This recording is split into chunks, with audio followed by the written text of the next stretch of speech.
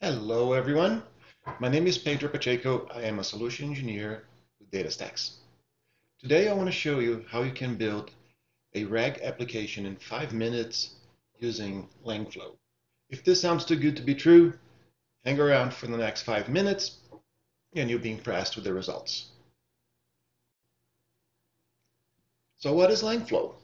LangFlow is an awesome open source Python-based application that allows users without any coding knowledge to assemble together RAG applications from prototype to production in a matter of minutes.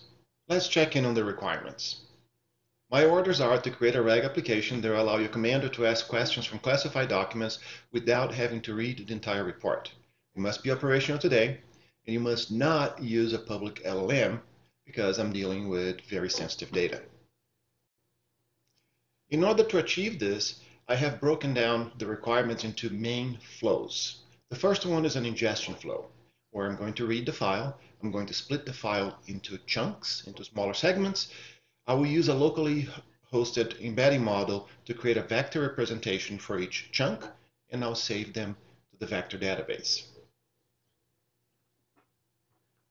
Once that's ready, I'll have a chat completion flow We'll ask a question, we'll prompt the user for a question, we'll vectorize the question using the same model that I used to vectorize the chunks.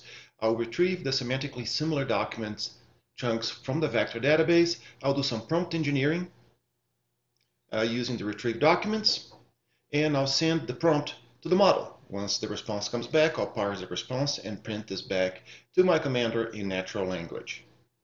Sounds simple enough.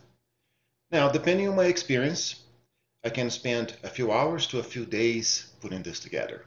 What I'll show you next allows you to build these two very complex flows in a matter of minutes. So let's get started.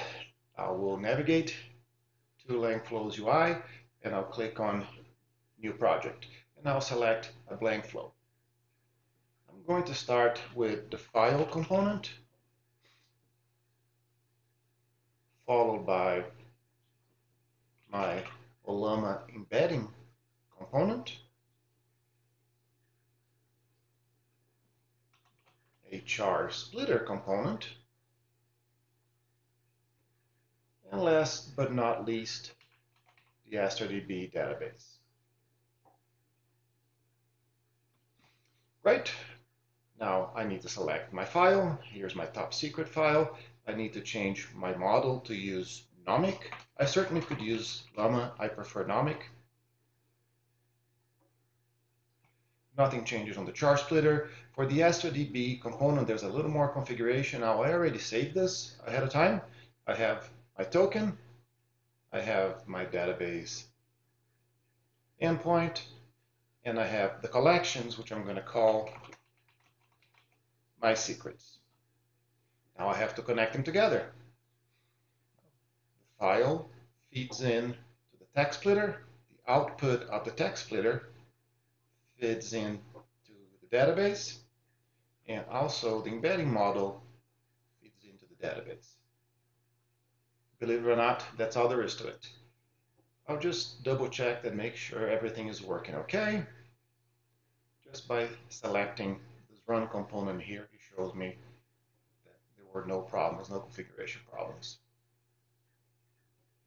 Now, I can certainly run this from here. But rather than do that, let's run this from code.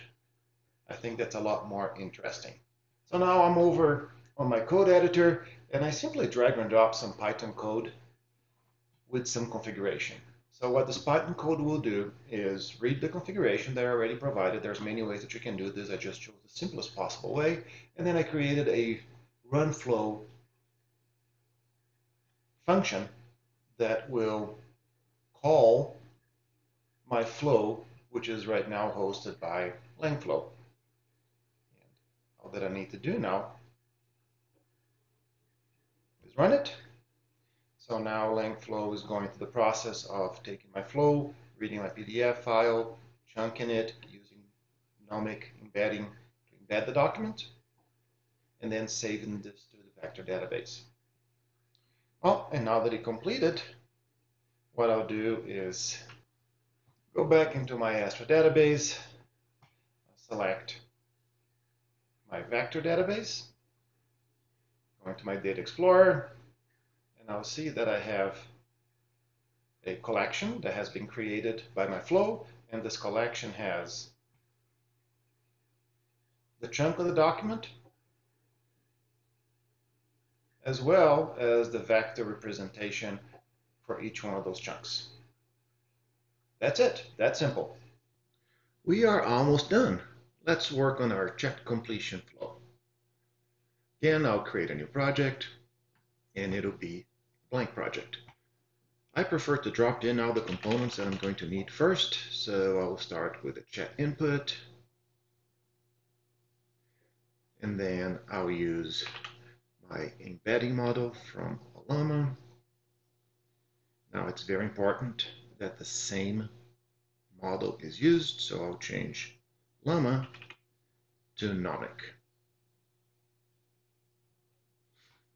Next, I need my AstraDB search, because rather than writing, we are searching the database. I need that to go into a text output.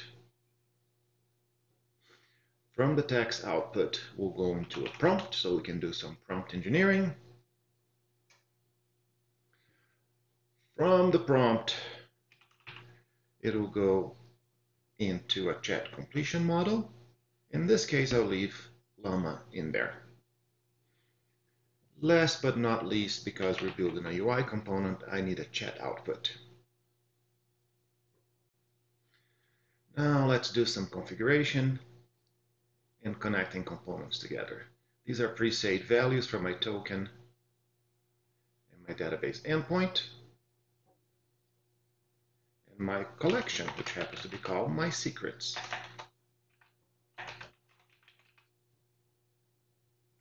The input value is whatever question I've asked. And I need to use the embedding models. And again, it's very important that you use the same embedding model. From here, the results will go into my text output. Now, before I connect my text output to my prompt, I need to provide a prompt. And here's a very simple prompt that I put together. You can certainly be a lot more creative and a lot more efficient on your prompt engineering. This tells me that I can use the content, which is the output for my text, and then the question, which comes all the way from the initial input.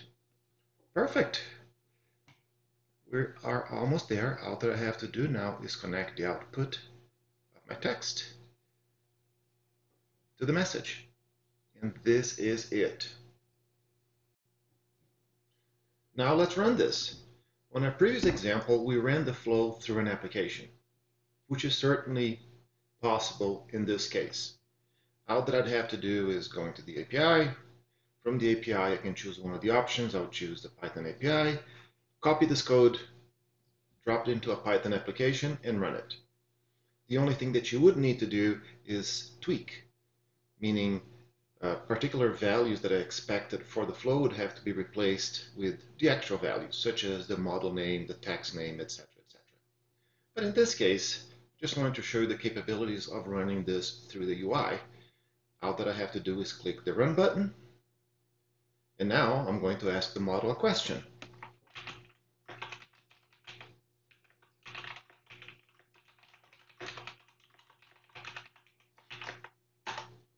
And let's see what the model knows about the secrets that I just told it.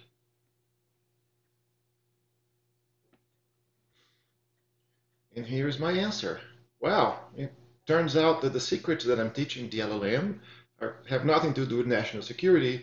It's simply my grandma's secret apple pies recipes. So this is it. Now, I hope this shows the capability of the product, how you can go from just an idea a full-blown application in a matter of minutes. Thanks for listening.